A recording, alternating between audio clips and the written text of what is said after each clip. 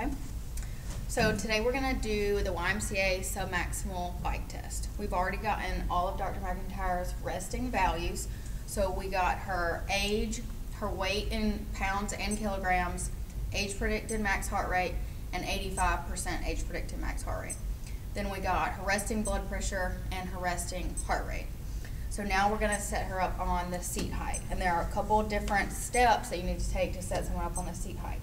The first one is to find the greater trochanter, and you can just estimate that. What I like to do is have them put their right leg out, like this, and internally and externally rotate the foot, and you can feel for the greater trochanter, okay? Then you can estimate where the seat is, so that's the first step. So I'm just gonna lower this down one.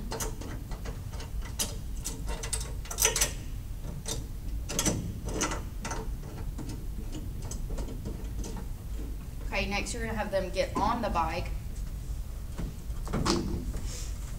And with your left leg, Dr. McEntire, I want you to point your foot. With the foot pointed, you want a five degree angle in bend in the knee. And then I want you to point your heel. And then the leg should be straight with the heel pointed. And then the last thing is you want them to go ahead and start pedaling. And you want to watch from behind and make sure their hips are not rocking, because that means the seat height is too high. And then the last thing is I always just ask, do you feel comfortable? Yes. Because some people like their seat height a little higher than you would normally have it, and you want them to feel comfortable regardless, okay? So now that she's comfortable, we're gonna record the seat height. And she is at seat height seven. And so Jordan's gonna write that down. So next time, if she comes to do the test or to exercise, she can go ahead and put that seat height on the bike, okay?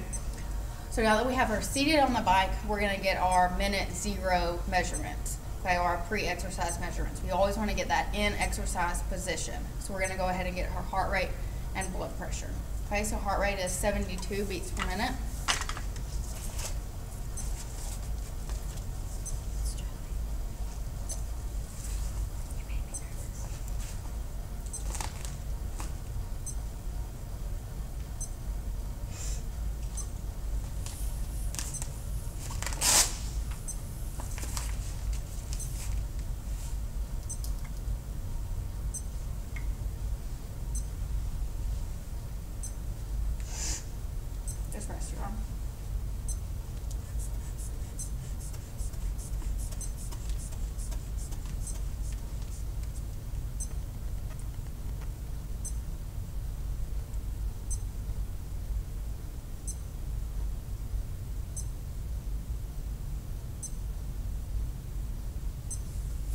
118 over 82. Okay, just kind of rest your hand right there. Just hold that. Okay, so now we're going to go through an explanation of the test. So, Dr. McEntire, this is a submaximal bite test. So, we want you to, we don't want you to exude a maximal effort. After this test, you should be able to go about your daily activities um, without any unusual fatigue. If you want to exercise later this day, that's fine as well. We're also gonna stop you at a certain point to maintain that submaximal effort. So we have a couple of endpoints that we're gonna use, mainly your heart rate. Okay, throughout the test, we're also gonna be taking several measurements and asking you some questions. So we'll be taking your heart rate and blood pressure, as well as asking how you feel throughout the test. The way we do that is through a rating of perceived exertion test. So on the bike, you can see the rating of perceived exertion scale. It's on a scale of six to twenty. So six being very, very easy, you just got out of the bed. Twenty being very, very hard, so the maximal effort that you can go. So throughout the test, I'll be asking you how you feel, and you wanna make sure that you keep in mind that this is an overall feeling, so not just leg fatigue and not just breathing, but overall how hard you feel like you're working. So I'll be asking you that on a scale of six to twenty, okay? Do you have any questions? Mm-hmm. Okay. So, uh, we're gonna go ahead and get started. Before, we're gonna do a three to five minute warm-up at zero resistance. Throughout the test, I want you to make sure that you maintain fifty revolutions per minute. And so we have the metronome here to make sure that you can maintain that cadence, okay? So go ahead and start pedaling. We have zero resistance on the bike. And try to maintain that fifty RPMs.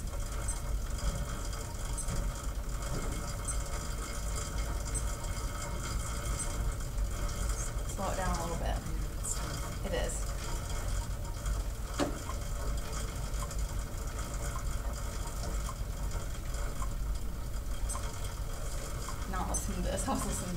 That's what I was listening to, and I was like, I don't hear it.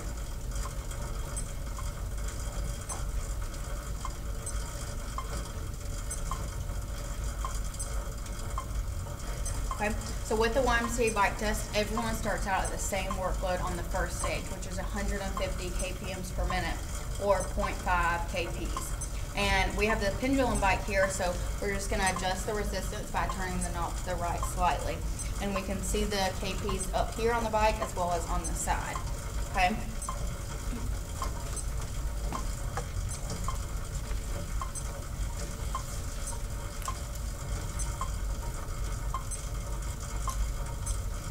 Okay, so once you're ready, when we start the test, I'm gonna move the resistance to 0.5 kps, and you're gonna stay there for three minutes. After the first stage, based on your heart rate, is how we're gonna change the resistance from that point on. So if your heart rate is a little higher, we would put less resistance on. If your heart rate is lower, we would put more resistance on. Okay, and then we're gonna follow that pattern throughout the test, mm-hmm. okay?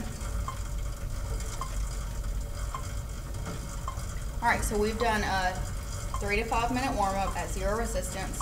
And now that she's ready, we're gonna go ahead and start the test. Okay, so I'm gonna put 0.5 kps on the bike.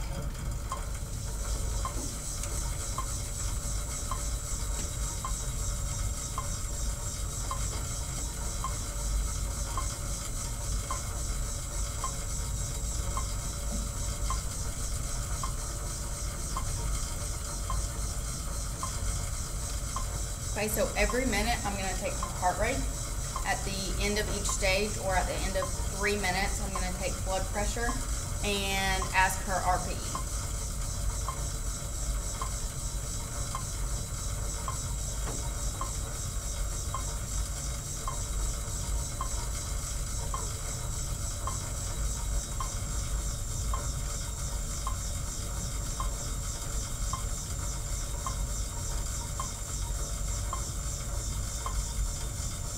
Okay, heart rate's 83.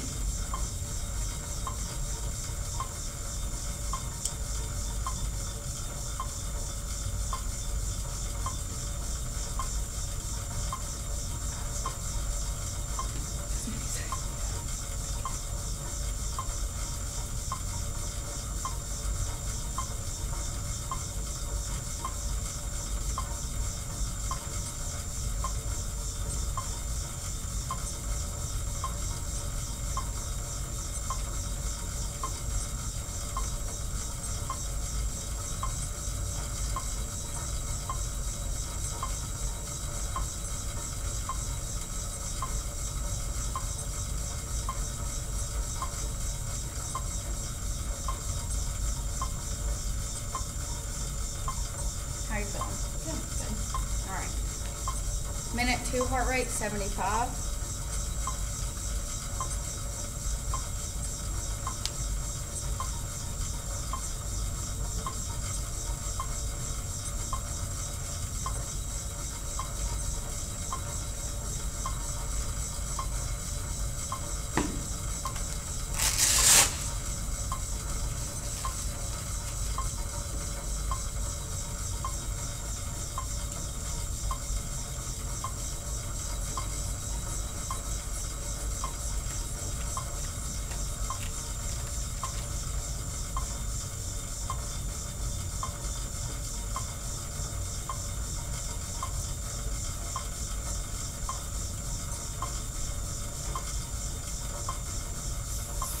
One twenty-six over eighty-two.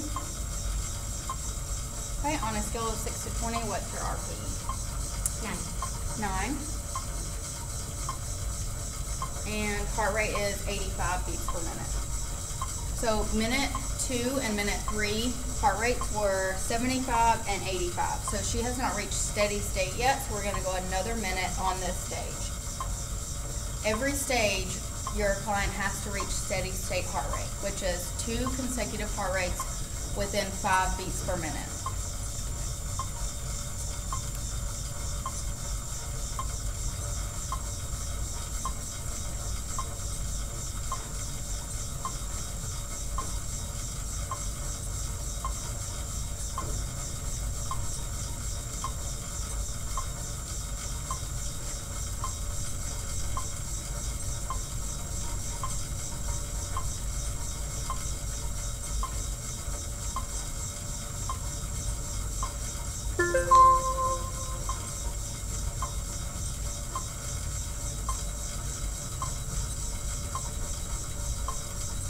Seventy-eight.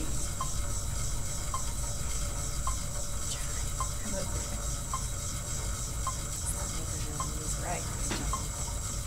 All right, so we're gonna go one more minute.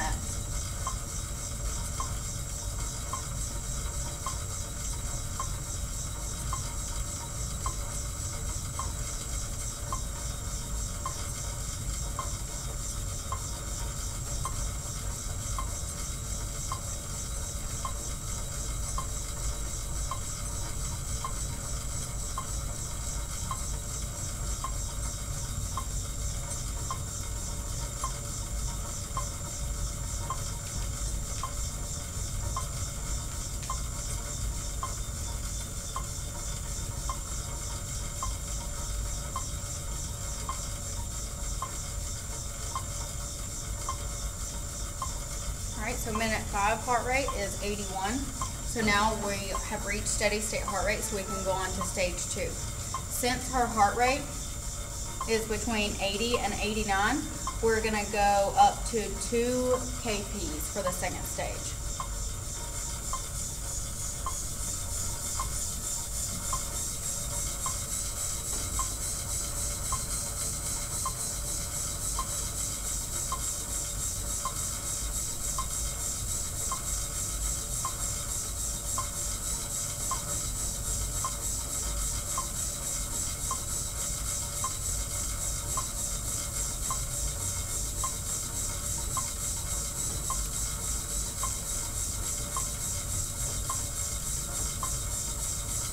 From this point on, each stage now, we will just add a half a KP until she is finished with the test.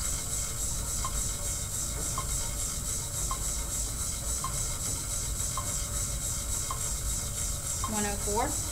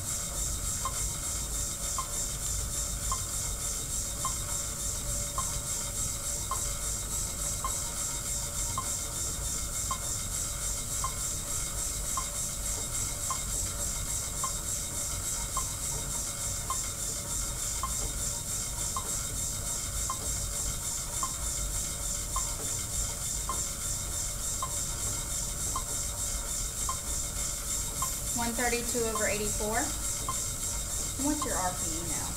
Um, 12. 12 RPE.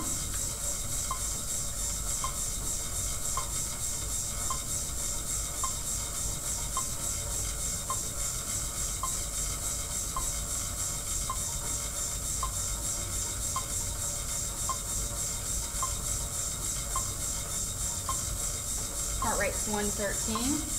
So she's reached steady state at this stage now, so we can go on to the next stage. We're gonna add a half a KP.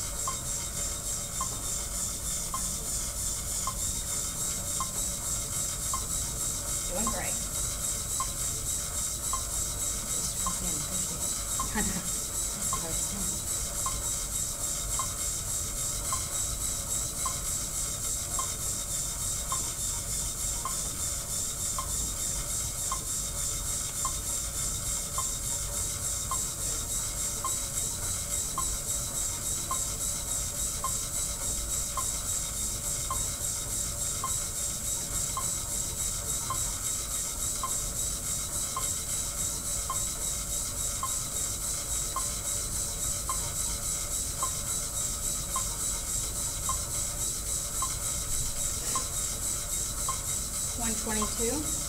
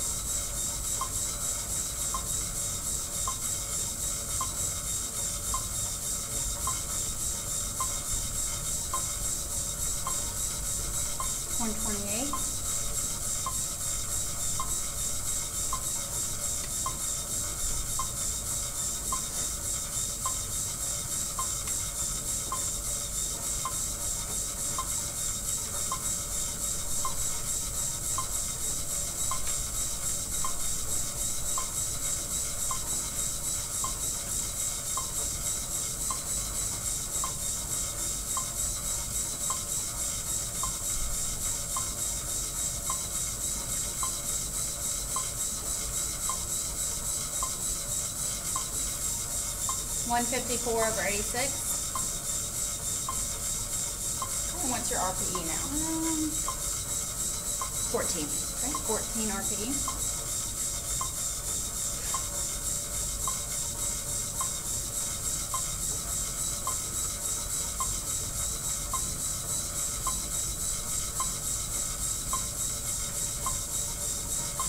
heart rate 131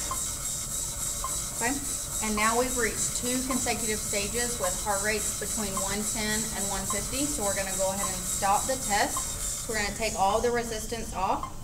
Her heart rate was one thirty-four immediate post-exercise, and go ahead and pedal at zero resistance. We're gonna get another blood pressure.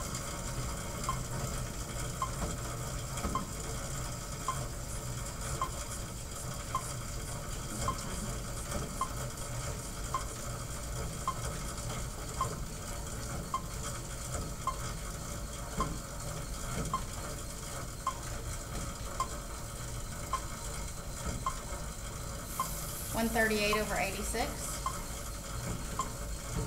Okay, and what was your RPE when we stopped? Fifteen. Fifteen. Okay, so now we're gonna do three to five minute active cool down to get the heart rate and blood pressure down. And then we'll continue to monitor her at rest for up to thirty minutes to make sure that her values get down to the pre-exercise or baseline values or heart rate less than hundred. So the reason we stopped this test was one of the criteria for a YMCA bike test is you must reach two consecutive stages of heart rates within 110 and 150 beats per minute. The reason we keep that within that stage is because between those beats is when where a linear relationship between heart rate and work rate exists. Once we get up to those high heart rates, heart rate will increase exponentially.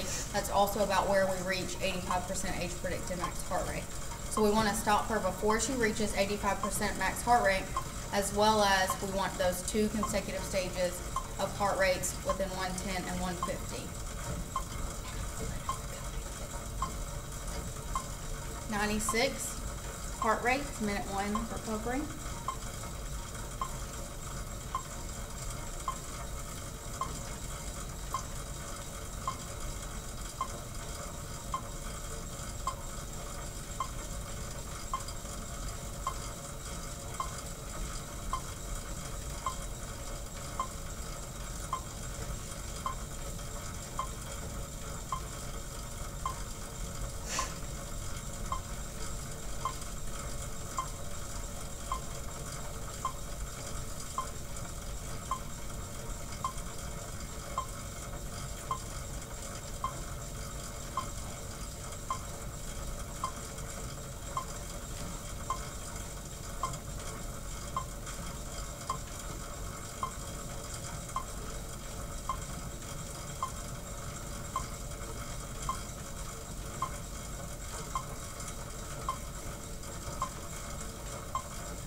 Heart rate, 91.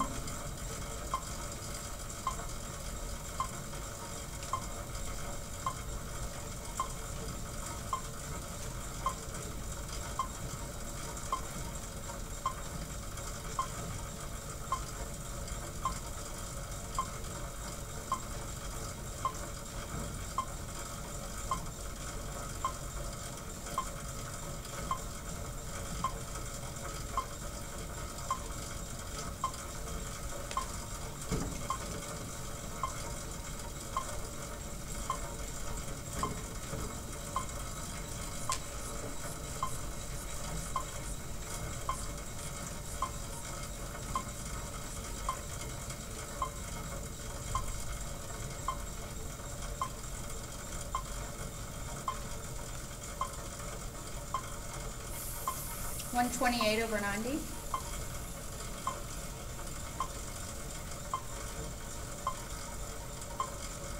And minute three heart rate, eighty-seven.